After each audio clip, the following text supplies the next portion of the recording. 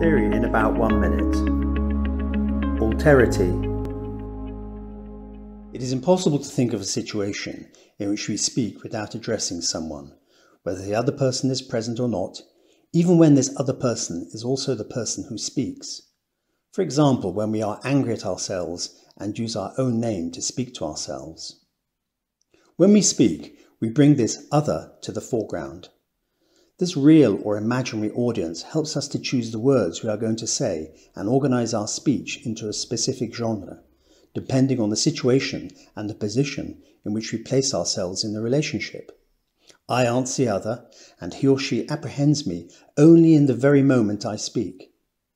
So we could ask ourselves, is the other always outside of me? No, the other is not. If we are inhabited by all types of discourse, then the other is constitutive of our subjectivity.